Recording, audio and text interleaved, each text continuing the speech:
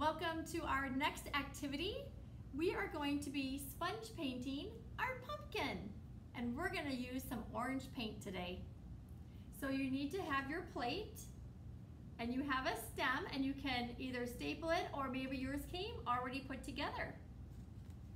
Then you need to take your sponge and your clothespin and you need to put your sponge in your clothespin just like that. Now we're going to use it as a paintbrush. Okay, so you have some orange paint and you're going to dip your sponge into the orange paint and you are going to sponge paint your pumpkin orange.